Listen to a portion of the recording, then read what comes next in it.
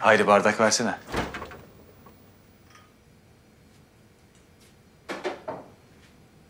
İki tane mi?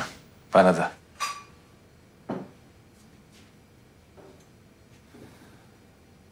Necat Bey, yüzün gülüyor. Hayri hala inanamıyorum. Kayra şu an burada ve gitmeyecek. Yani şu an gitsem, merdivenlerden çıksam kızım orada beni bekliyor. Bundan sonra ne zaman istersem kızımı görebileceğim. Olması gereken bu. Ama Ama Aylin Hanım, yani bu iyiliği böyle karşılıksız yapmış olması bana çok tuhaf geldi. Yani Kayra'yı çok çirkin bir şekilde bizden kopardı. Şimdi geri getiriyor. bence zorla annesi olamayacağını, bunun Kayra'nın istemesi gerektiğini anladı. Kayra'nın mutluluğunun her şeyden önce geldiğini anladı. Ben art niyetli düşünmek istemiyorum. Kayra Sunay'ı soracaktır. Soruyor zaten. Bir cevap verebildin mi? Veremedim. Az önce aradı kaçmadı. Ya hayır ben bu kadar mı affedilemez bir şey yaptım? Şevket Bey'le Pervin Hanım dururken benim söylemem uygun olur muydu? Zaten Pervin Hanım söz aldı benden söylememem için. Kendini suçlama. Suna bir annesi olduğunu öğrendi. Ya resmen dağıldılar. Saniye de aynı durumda. Ne yapacaklarını bilemiyorlar. E kime neye inanacaklarını, önceliklerini, e, hayatlarının sonraki kısmını nasıl yaşayacaklarını sorgulamaya başladılar. Bence Suna'nın yanından ayrılma. Israr et. Yalnız bırakma. Suna bana küsse anlardım. Benden zaman istese onu da anlardım. Bağırıp çağırsa karşıma geçip ona da eyvallah. Ama evleneceğimiz gün bana aniden bitti dedi. Bu çok soğuk, çok net, keskin bir tavır. Ama sen de böyle keskin tepkiler verirsen Haydi, kararına saygı duymuyorum. Bu işin arkasını aramayacağım. Neden söylediğini falan araştırmayacağım. Peşinden de koşmayacağım. Şu an sadece kızımla ilgilenmek istiyorum.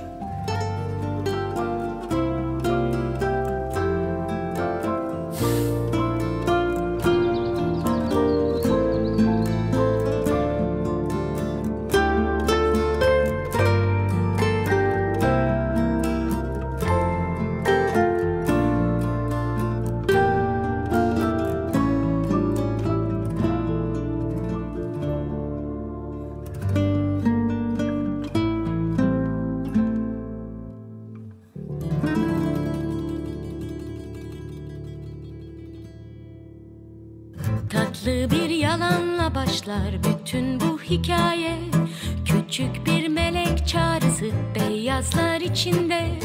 Kimler kimlerle rastlaşır oyunlar içinde. Bunlar bir masal mı sizce? Ah bilmem ne ola. Bilmem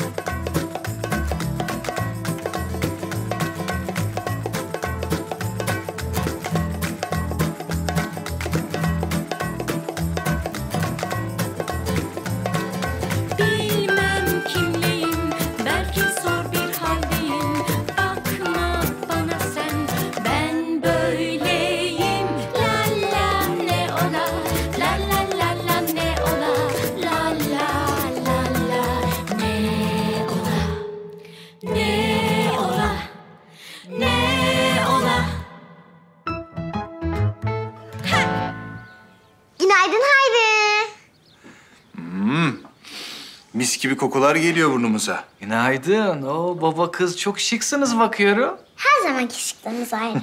Ha, eve döndü yine diller papuç gibi olmuş. Bacaksız. Seni kızdırmayı özledim.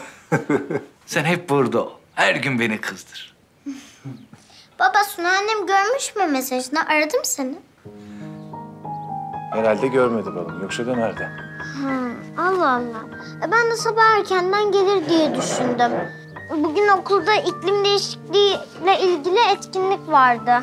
Evet ama işleri var galiba. Baba kız gitsek olmaz mı? Tamam. Biliyor musun babacığım? İklim değişikliğinin yaratacağı felaketleri engellememiz için sadece 11 yılımız kaldı.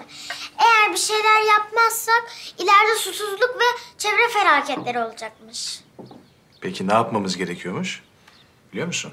Evet biliyorum. Rüzgar ve güneş enerjilerini daha fazla kullanmamız, fosil yakıtlarını daha az kullanmamız lazımmış. Sen fosil yakıt ne demek onu biliyor musun ki? Evet biliyorum. Benzin falan işte. Ayrıca zararlı gazlar ve zararlı maddelerle doğamızı kirletmememiz lazım. Bunu da öğren ayrı. Aferin benim kızıma. Hı, Suna annem gelmişti. Ben hemen bakayım.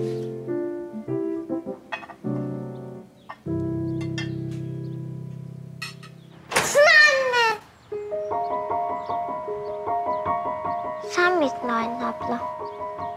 Günaydın bir tanem. Okuldaki etkinlik için geleyim dedim. Gel öpeyim seni.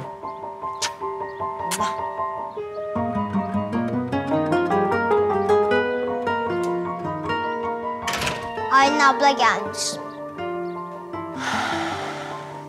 Günaydın Aylin. Günaydın. Otursana.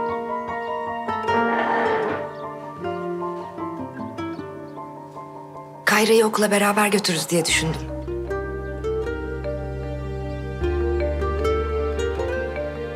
Olur. E, öyleyse ben de bir çay alırım. Tabii oradan koyabilirsin kendini. Benim bugün bazı işlerim var. Çıkmak zorundayım. Afiyet olsun. Tamam Aylin sağ ol.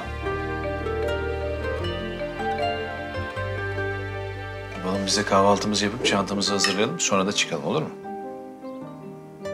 Babacığım birazcık daha beklesek belki Suna annem gelir. Tatlım istiyorsan bekleyelim ama etkinliğe geç kalmak istemezsin değil mi? İyi peki. Ben de çay koyayım o zaman.